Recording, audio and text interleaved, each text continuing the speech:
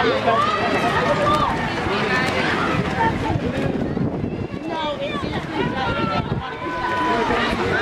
winner, lane 5, Ronan Acosta. Polar Bears.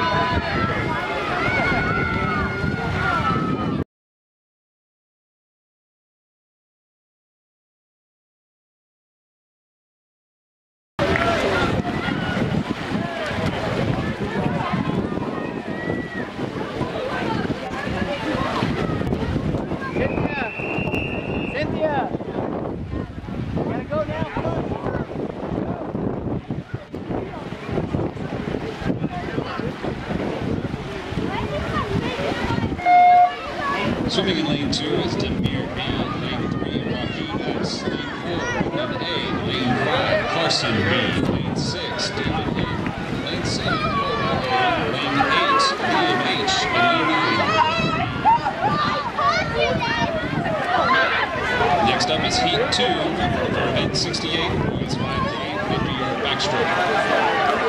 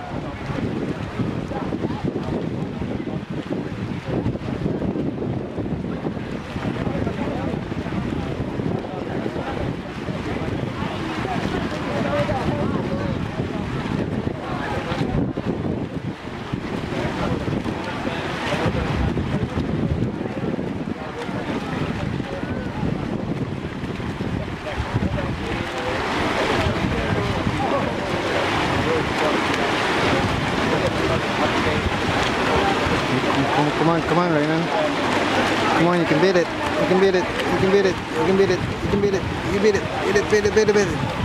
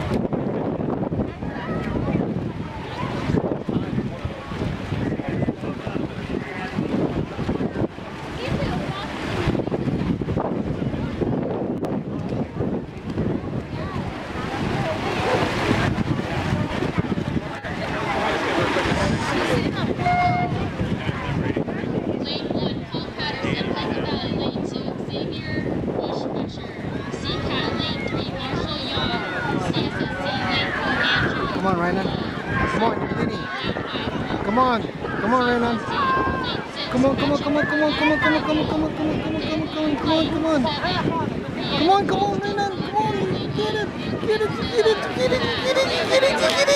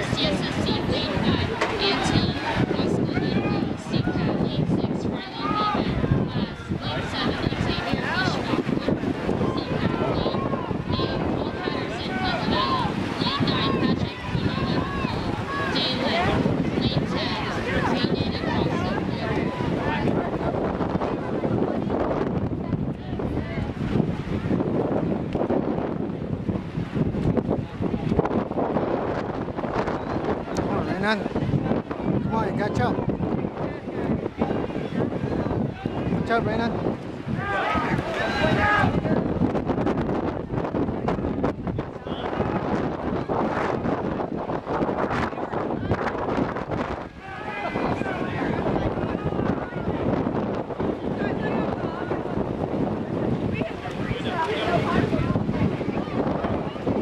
Thank you.